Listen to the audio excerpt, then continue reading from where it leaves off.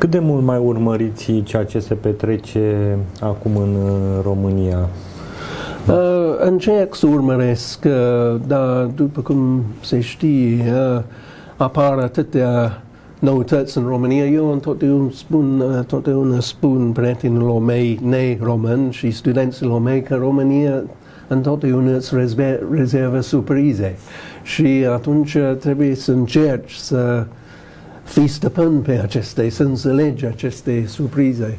Deși mă ocup de istoria României de peste 40 de ani, tot nu înțeleg anumite aspecte ale ei și asta este un imbol pentru mine să continui. Deci uh, citesc, uh, sigur, tot ce, nu tot, dar o parte din ce apare pe internet, dar efectiv n-am timp să fiu la curent cu toate dezvoltările, mai ales politice, uh, pe plan românesc.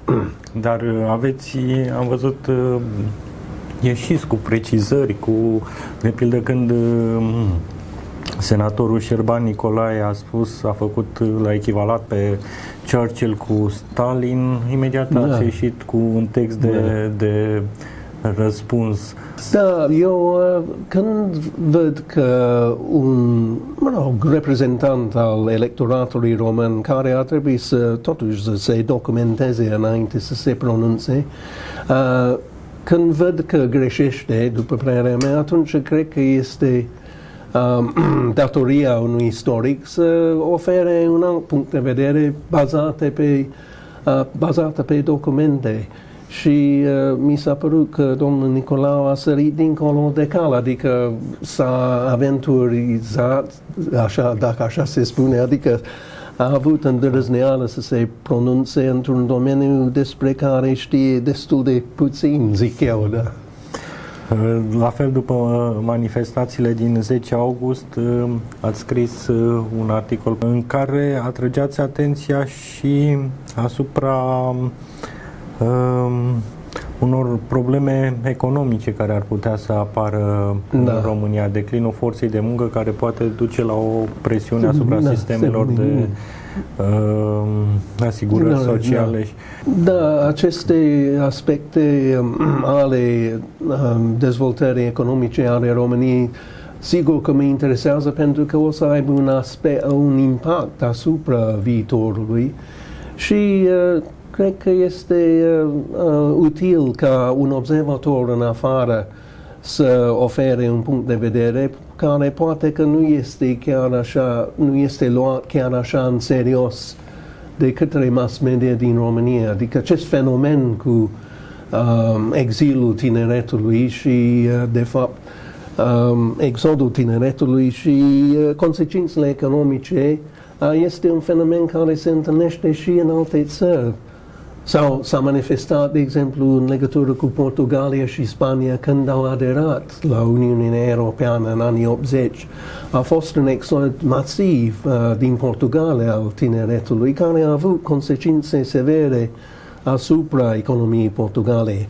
Acum încă vedem în Spania, din cauza șomajului din Spania, foarte mulți spanioli lucrează în afara Spaniei, dar în cadrul Uniunii europene, dar acesta a avut un efect mare asupra bugetului spaniol pentru că tinerii aceștia nelucrând în Spania nu mai plătesc impozit, nu plătesc impozit în Franța sau în Anglia sau în Germania. Um, pe de altă parte, uh, longevitatea oamenilor face că statul este obligat să plătească pe o perioadă mai mare decât plătează, zicem acum, 20 de ani pensii, nu? dar numărul de contribuabili scade, numărul de cei care au dreptul la pensii crește și, desigur, dacă guvernele nu iau măsuri corespunzătoare, poate să ducă la o criză economică. Care credeți că ar fi în momentul acesta, să spun așa, pericolele principale care pândesc România interne și externe E o întrebare foarte largă, dar da. cred că...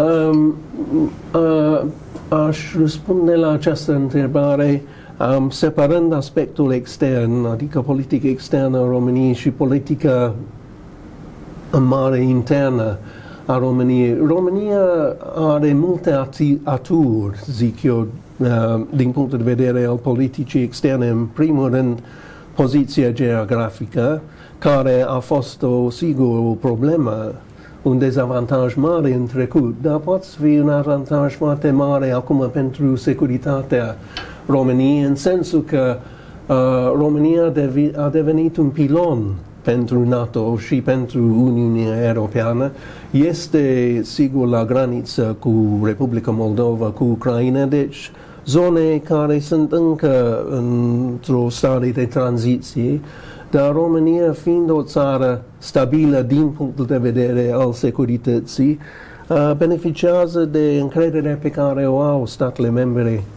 uh, ale NATO-ului în ea. Și dovadă că Statele Unite, de exemplu, uh, uh, s-a hotărât să amplaseze un al doilea lot de rachete în România, nu numai ca să apare România, dar ca să apare, de fapt, flancul estic al NATO-ului.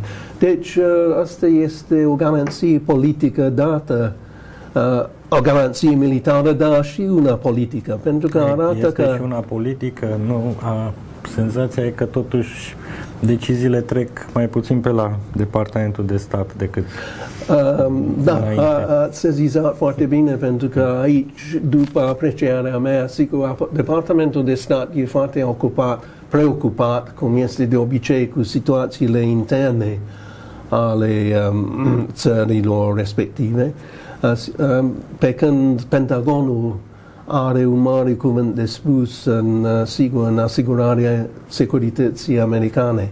Plus că președintele Trump este foarte interesat în uh, a vinde arme americane, deci are și uh, interesul să vândă României acest, uh, acest, uh, acest al doilea grup de mis, uh, rachete balistice, dând un împrumut mare statului român ca să le achiziționeze. Uh, revin la problemele interne. Aici sunt foarte importante pentru că dacă uh, situația internă dintr-o, într-o țară nu este stabilă, atunci uh, aruncă o îndoială asupra capacității aliatului uh, NATO de a, de a um, respecta angajamentele pe care le are în cadrul alianței. Deci, uh, vrei, uh, dacă privești lucrurile din afară și te uiți spre România, sigur că chiar pentru Pentagon situația internă este importantă măsură în care uh, guvernul uh, uh, indiferent de ce culoare are, totuși guvernul poate să asigure o stabilitate. Pentru că totuși sunt uh, interese americane, interese ale NATO-ului, trupe americane bazate în România, aspectul intern, stabilitatea internă contează.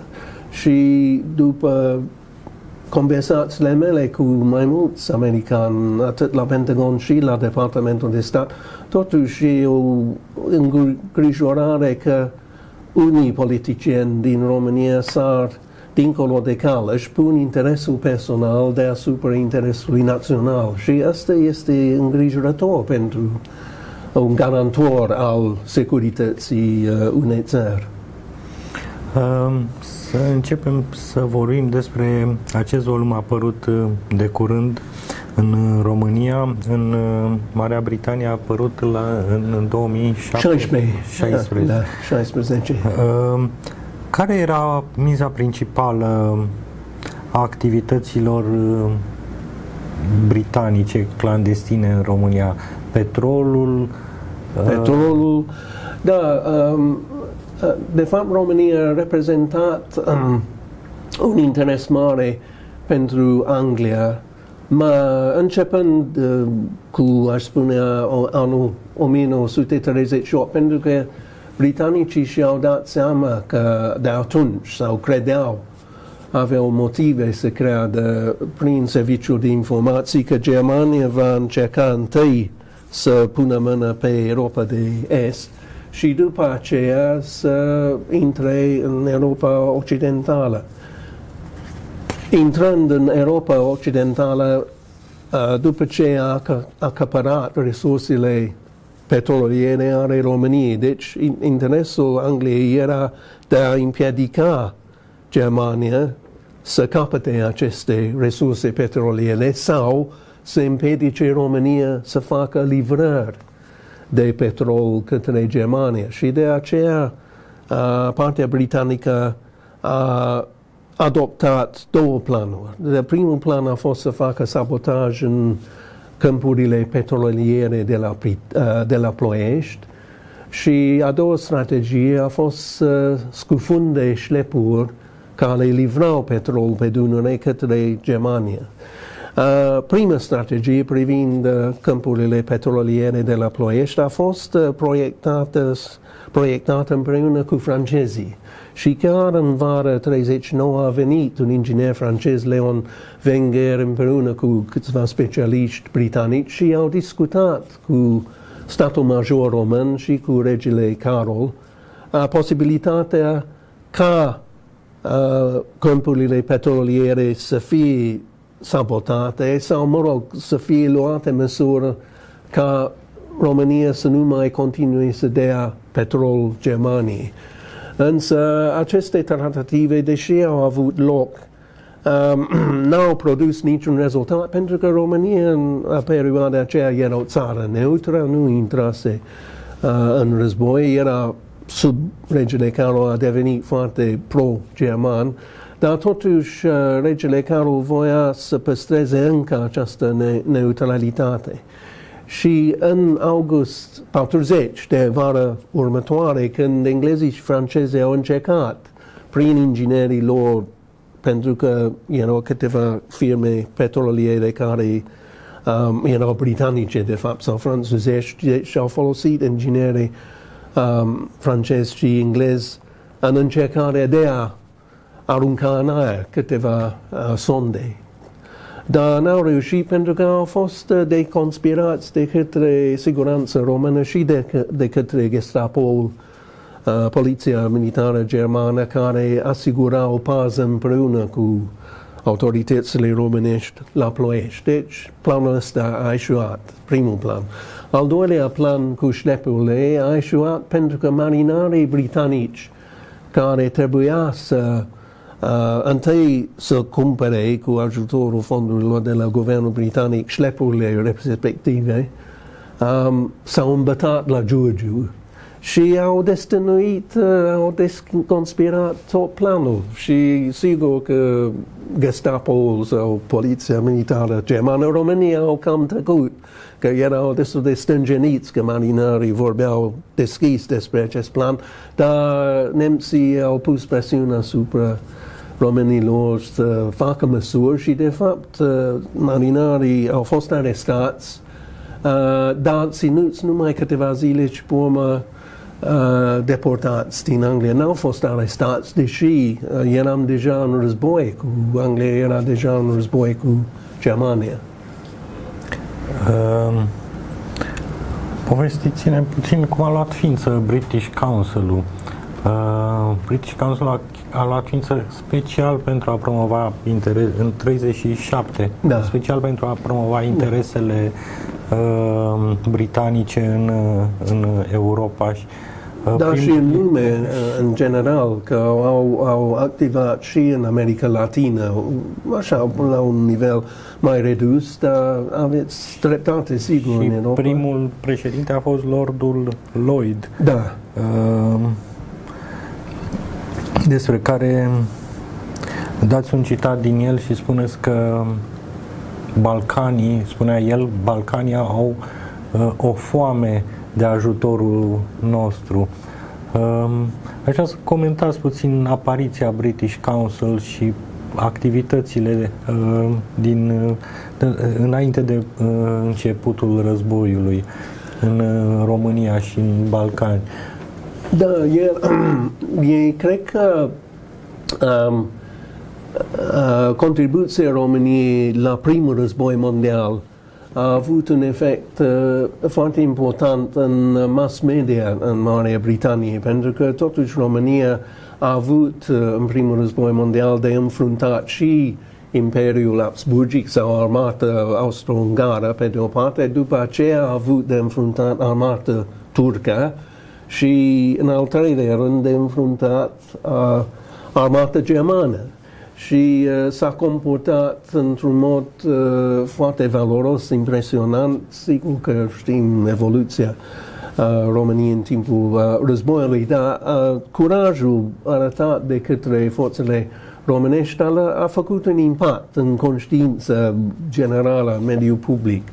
Uh, după aceea, în anii 20, uh, uh, rolul tânărului Carol I sau principele Carol cu uh, Amanta și uh, doamna Lupescu și așa mai departe. Asta iarăși a început să fie un motiv de interes pentru publicul, de scandal pentru publicul britanic, sigur ceva foarte colorat, într-un fel negativ, dar totuși uh, pasionant pentru publicul britanic și interesul spre România a început să crească din ce în ce mai mult uh, la sfârșitul anilor 20.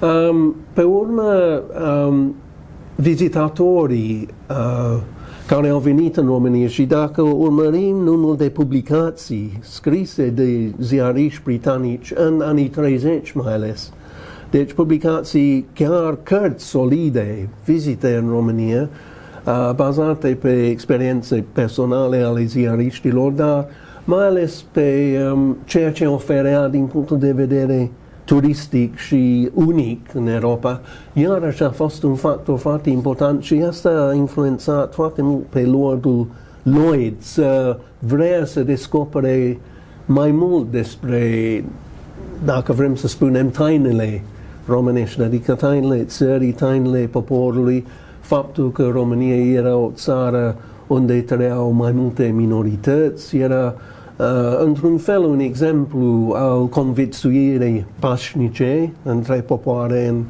anii 30. Uh, Toate aceste lucruri au contribuit la uh, interesul pe care l-a avut, sau a început să aibă Lordul Lord și atunci el a luat decizia, cum ați spus, uh, să înființeze uh, o filială a lui British Council chiar în România. Și aici a fost ajutat foarte mult de către Viorel Tilia, care a devenit ambasadorul României în, la sfârșitul anilor 30 și de alți, uh, chiar însuși de regele Carol, care l-a sprijinit, uh, a sprijinit activitatea Consiliului Britanic um, și uh, englezii au început să trimită lectori, deci la un moment dat erau patru sau cinci lectori uh, britanici în România uh, între 37 și 40 când au fost retrași. Aici fac o mică paranteză. Anglia uh, întotdeauna a avut o concurență culturală cu Franța și Franța avea și mai mulți lectori francezi în în uh, uh, România și asta într-un fel l-a durut pe Lordul lor, deci a zis hai să facem uh, și noi un efort suplimentar. Chiar italienii aveau mai mulți lectori italieni decât britanicii la început. Maniu era personajul principal pentru serviciile secrete britanice și pentru diplo- diplomația britanică. El a ținut legătura cu Ehm, serviciile secrete britanice au avut un uh, radiotransmițător da. Uh, care s-au, uh, iar aceste transmisiuni s-au dovedit extrem de importante mm-hmm. după 23 da. august, când au existat acțiuni militare, bombardamente care au da. facilitat Asta în 43 și 44, da. Totuși, Maniu nu avea o imagine foarte bună. În, de ce nu avea o imagine foarte bună serviciile secrete? Um, Maniu era o persoană, după punctul de vedere britanic, foarte indecisiv, adică și ezita. Spre, putem spune, spre, um, uh, uh, aș spune, um, aici, spre onoarea lui, deși a fost invitat de două, trei ori, încă prima oară în decembrie 41 să vină în Anglia și să conducă o mișcare de rezistență de la Londra, el a refuzat. Deci a zis în mai multe rânduri că locul lui este în România printre români. Um, totuși, când englezii încercau să pună să facă, să întreprindă o acțiune pozitivă, uh, de exemplu, să trimită oameni în teren și să dea informații despre armata germană în România, foarte greu se mișca, știi. Um, asta nu, nu mi explic. Sau că nu găsea pe amator sau pe oameni să-l ajute, sau era o lipsă de, uh, lipsă de uh, contact, oarecum că contactul era foarte greu, deși era asigurat la un moment dat de către câte un radioemisator, deseori operatorii sau stațiile au fost uh, uh, desconspirate, descoperite de către partea germană, care aveau tot felul de goalgoane speciale care depistau uh, radiourile, radiourile emițătoare și Gestapo anunța siguranță românească că siguranța opera arestările. Um, deci asta a fost lipsă de contact uh, continuu între englezii și Maniu a dus la mai multe înțelegeri. Um, neînțelegeri, pardon. Um, aici aș vrea să fac, uh, să, să, să vorbesc puțin despre um, grupul care a fost constituit de către Maniu um, ca să ajute pe englez. Maniu era ardelean. Mulți dintre colegii lui din grupul lui Maniu erau ardeleni. Și el a obținut de la englez promisiunea că după război Anglia va uh, lupta, va lua măsuri ca Ardealul de Nord să fie restituit României și că englezii vor convinge Statele Unite să fie de acord ca Ardealul de Nord să fie restituit. Sigur că știm că în martie 45 a fost restituit, dar sub egidă sovietică, de fapt. Dar uh, acest aspect patriotic, aș spune, transilvanian, a um, influențat foarte tare pe Maniu în ceea ce făcea. Asta este un lucru. Al doilea lucru este că Maniu credea, uh, credea în democrație, credea în importanța uh, sistemului democratic și uh, importanța posibilității ca românii să-și exprime vederile. Um, el credea atunci când România a intrat în război, el înțelegea de ce Antonescu a, a atacat Uniunea Sovietică împreună cu Hitler. A, a înțeles asta, dar a tot, întotdeauna a spus și el și Breteanu au spus lui Antonescu să nu depășim frontierele vechi ale României, să nu intrăm în Ucraina, să nu intrăm în Uniunea Sovietică.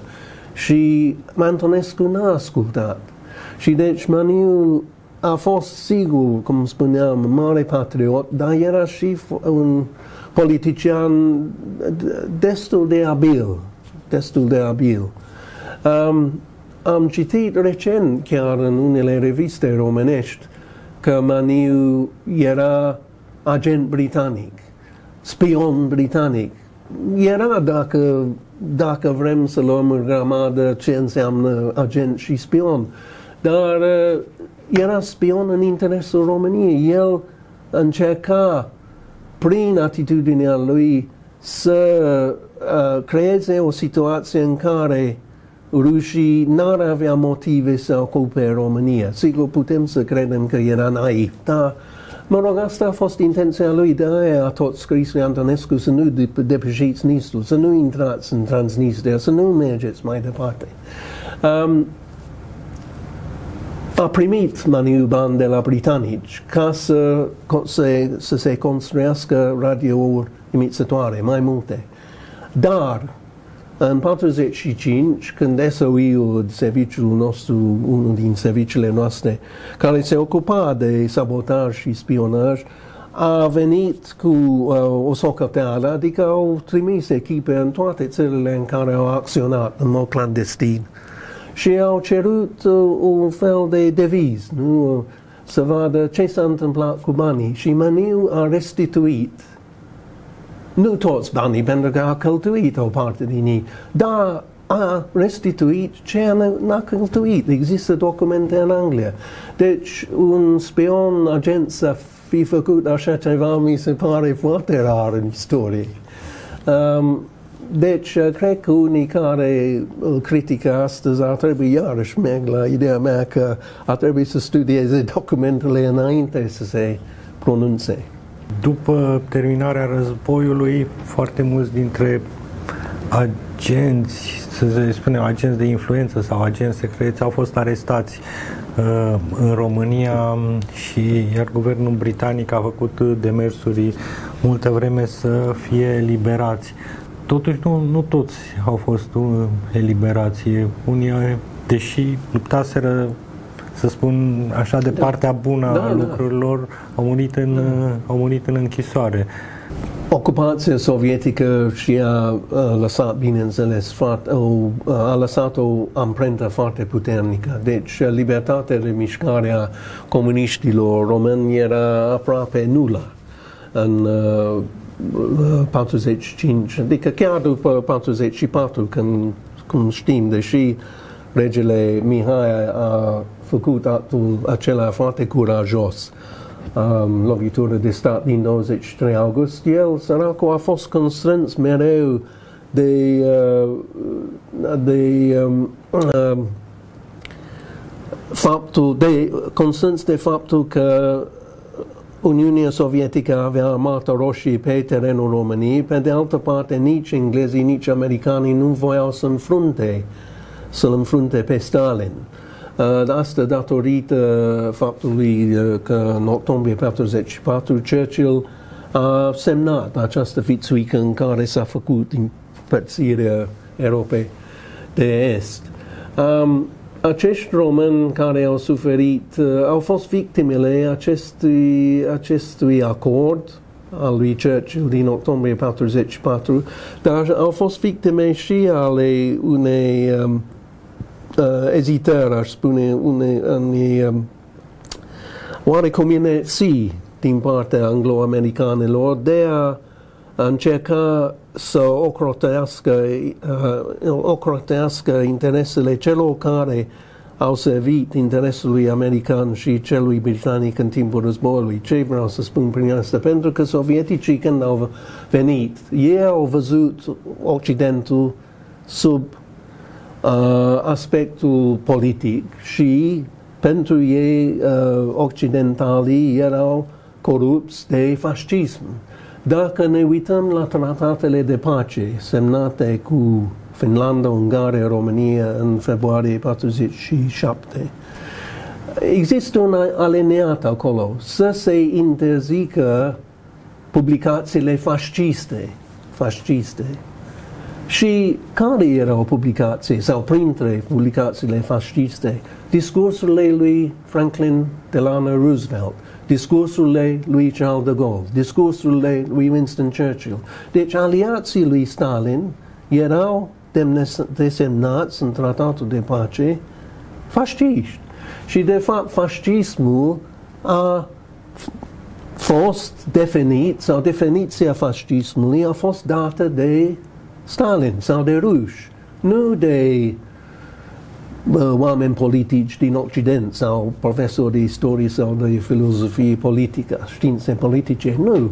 În tratatul de pace, dacă erai antisovietic, erai fascist. Asta reiese clar când citești asta. Și sigur, România a suferit de această aplicare a definiției fascismului. Și de aceea uh, Maniu a fost uh, încondeat în unele ziare din 47, nu, în octombrie când a fost uh, procesul împotriva lui, fascist. Brăteanu la fel. Uh, regim de tip fascist, guvernul lui Rădescu. Nu, aceste definiții provin din concepția lui Stalin sau concepția sovietică a fascismului.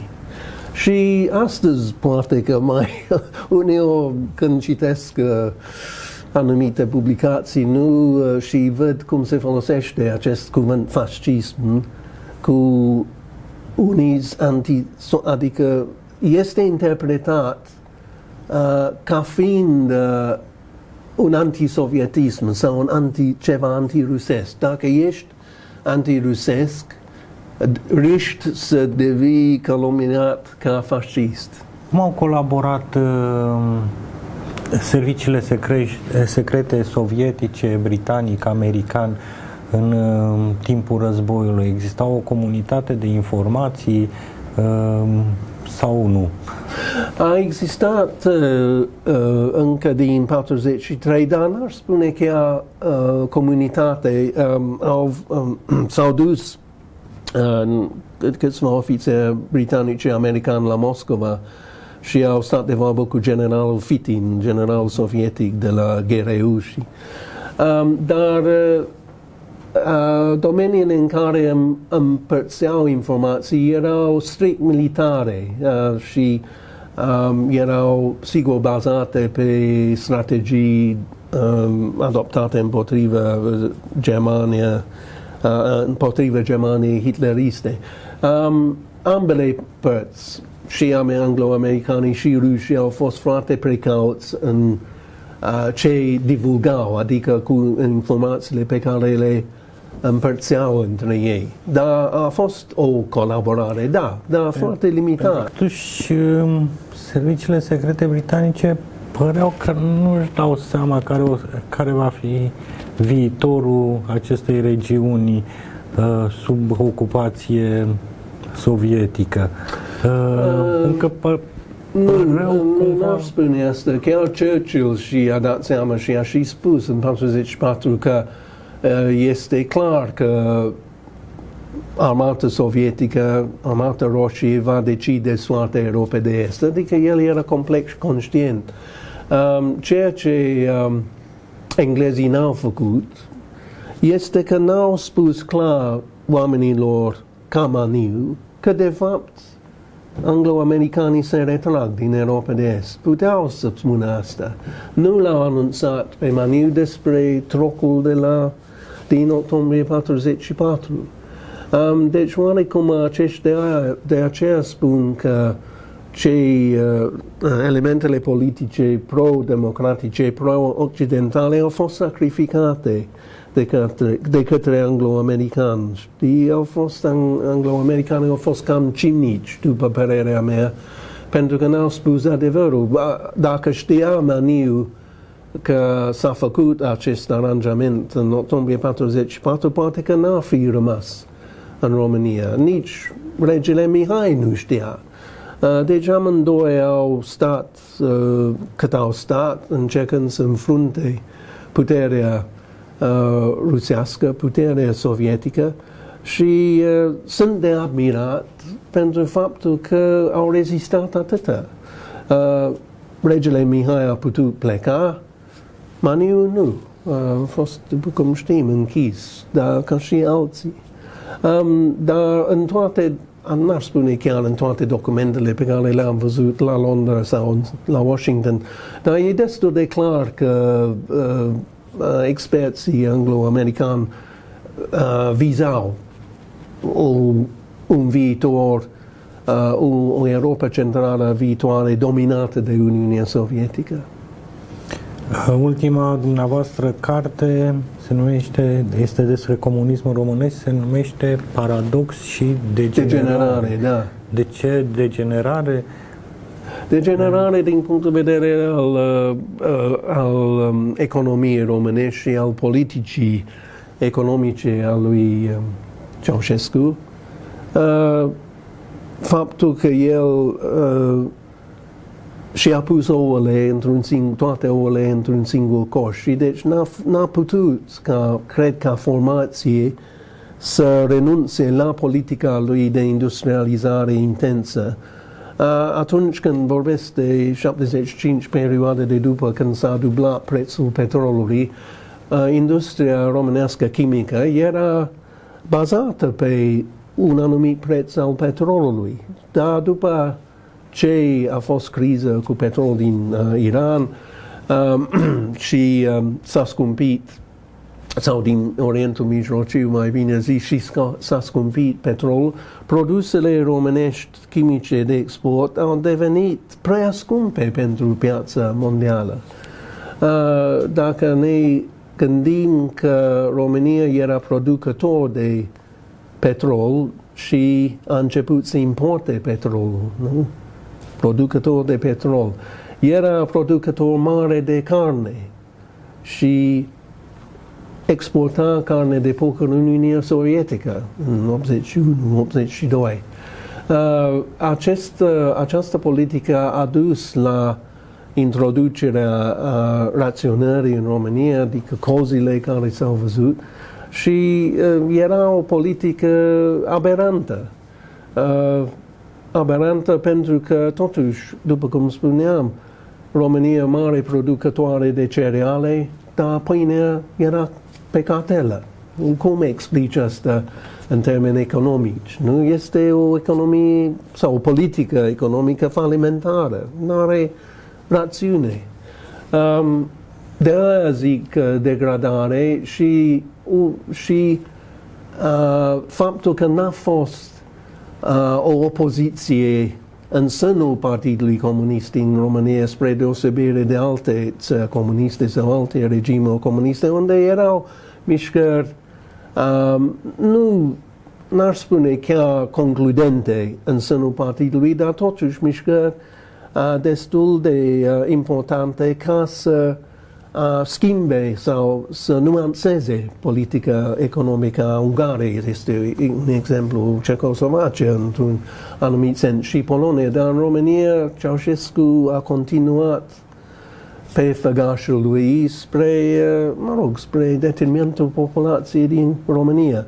Paradoxul este politica externă. A fost pe plan extern Ceaușescu un politician foarte abil și de aceea a reușit să convingă pe americani să, să introducă statutul acela de națiune cea mai favorizată. Um, a obținut anumite înlesniri uh, cu tariful de la american. Um, a devenit un fel de lider neoficial al lumii a treia după moartea lui Tito. Deci, pe plan internațional, era văzut ca un politician, cum spuneam, uh, abil, care a știut să navigheze apele astea foarte periculoase ale politicii mondiale. Dar pe plan intern, uh, după ce a venit Gorbachev la putere în martie 85, uh, Ceausescu a devenit ire- irrelevant pentru Statele Unite. Pentru că Gorbachev a fost un reformist uh, care voia să reforme tot sistemul socialist. Ceausescu era un fosil, era ca un vechi Brezhnev, nu? Uh, era un om din trecut, era un stalinist. Americanii nu mai aveau nevoie de el și nici el nu s-a adaptat și nu și-a dat seama, zic eu, plus că nevastă s-a tot, tot intervenea unde ne, nu trebuia. Dacă citiți, aveți posibilitatea să citiți uh, stenogramele biroului politic uh, după 85 și să vedeți intervențiile doamnei Ceaușescu, mă rog, uh, N-am cuvinte, n-am, n-am cuvinte, da. da apare. Uh, în încheiere, mi-a rămas o frază în, în cap, așa, să rămân fraze dispersate. Spuneți așa, crearea unei culturi în rândul elitei dominante în care lăcomia era considerată o dovadă de iscusință și inteligență. Da. Genul ăsta de remarcă imediat sare în ochi. Da, Chiar este... e o cultură da, dar nu da. Este, este un citat, nu este opinia mea. Este un citat dintr-o carte publicată de unul din consulii, consulii uh, britanici, William Wilkinson, care a publicat această carte în 1826. Aha. 1826 și el a constatat, asta a fost citatul. Și uh, eu am uh, pus citatul ca să se vadă cum era văzută uh, sau cum erau văzute țările românești în uh, unele capitale occidentale în secolul trecut și această părere poate fi găsită la francez. Sunt multe documente, dacă citiți amintirile primului ministru francez Raymond Poincaré, uh, în 1912, el cam spunea același lucru, dar a fost dat ca să ilustrez care era um, care e impresia diplomaților occidentali, mai ales celor german, francez și englez, uh, care totuși au stat câțiva ani buni în uh, Bala, Iași, Bala, București.